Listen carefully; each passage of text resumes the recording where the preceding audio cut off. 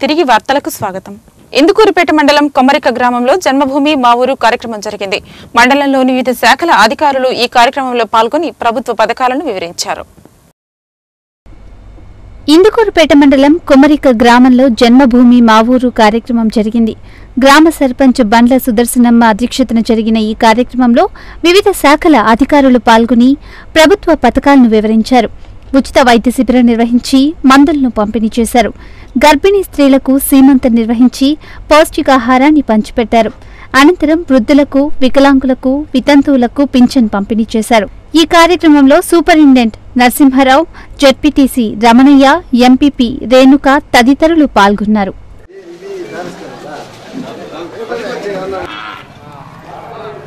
కావలి పట్టణం railway station సమీపంలో ఓ ఇంట్లో అక్రమంగా నిల్వ ఉంచిన లక్ష రూపాయల విలువైన నిషేధిత గుట్కాలను పోలీసులు స్వాధీనం చేసుకున్నారు.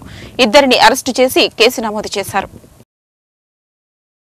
కావలి పట్టణంలోని రైల్వే స్టేషన్ సమీపంలో నిషేధిత గుట్కా స్థావరాలపై పోలీసులు దాడి చేశారు. గుట్కా అక్రమ వ్యాపారం చేస్తున్న నేరెళ్ళ వెంకటేశ్వర్లు పి. రమేష్కు చెందిన ఇళ్ళల్లో లక్ష రూపాయలు విలువైన నిషేధిత గుట్కాలను గుర్తించి స్వాధీనం చేసుకున్నారు.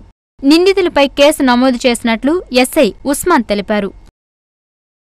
పోలీసుల డేగ కళ్ళతో నిఘా పెట్టిన ఎర్రచందనం దొంగలు తమ పని కారిచ్చేస్తున్నారు తాజాగా మనబోలు మండలంలో మూడు లక్షల విలువైన ఎర్రచందనం పట్టుబడడం ఈ పరిస్థితికి తార్కాణంగా నిలుస్తోంది. మనుపోలు మండలం జట్లకొండూరు గ్రామం. అటుగా వస్తున్న పోలీసులను చూసి ఓ కారు రోడ్డు పక్కనే ఉన్న ముళ్ళ పొదల వైపు తన దారి మరల్చుకుంది. ఇది గమనించిన పోలీసులు ఆ కారు దగ్గరకు చేరుకున్నారు. కారులో వ్యక్తులు పారిపోయారు. అందులో పద్నాలుగు దుంగల ఎర్రచందనాన్ని పోలీసులు గమనించారు. వాటిని స్వాధీనం చేసుకున్నారు. వాటి విలువ మూడు లక్షల రూపాయలు ఉండవచ్చని పోలీసులు చెప్పారు.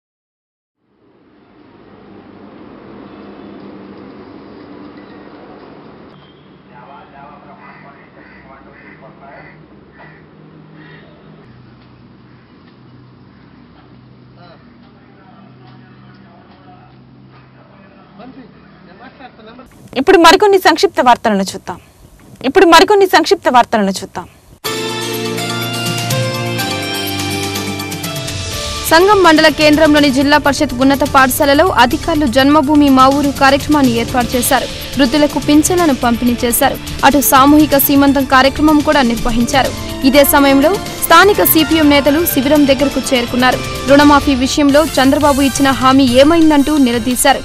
రైతుల బకాయిలను ప్రభుత్వం తక్షణం చెల్లించాల్సిందేనంటూ నినాదాలు చేశారు.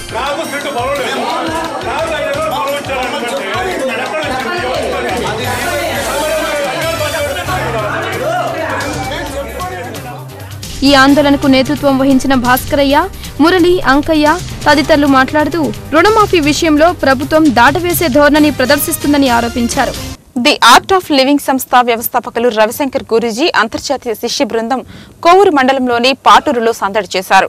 అనుగ్రహ పాదయాత్ర పేరుతో వివిధ దేశాలకు చెందిన ప్రతినిధులు గ్రామస్తులకు భారతీయ సంస్కృతి సాంప్రదాయాలను వివరించారు. కోవూరు మండలంలోని పాటూరు గ్రామంలో విదేశీయులు సందడి చేశారు. ది ఆర్ట్ ఆఫ్ లివింగ్ వ్యవస్థాపకులు రవిశంకర్ అంతర్జాతీయ శిష్య బృందం అనుగ్రహ పాదయాత్ర పేరుతో నెల్లూరుకు వచ్చారు. పాటూరుకు చేరుకున్న వీరికి స్థానికులు ఘన స్వాగతం పలికారు. అనంతరం వినాయక స్వామి ఆలయం వద్ద జరిగిన సదస్సులో పాల్గొన్నారు. వివిధ దేశాలకు చెందిన ప్రతినిధులు అలెగ్జాండ్రియా నాజియా కత్రిన్ వ్లాడిమర్ అలెగ్జాండర్లను చూసేందుకు పలువురు ఆసక్తి చూపారు. ఈ సందర్భంగా విదేశీయులు హరేరామ సంకీర్తనలు ఆలపిస్తూ గ్రామస్తులను ఆకట్టుకున్నారు.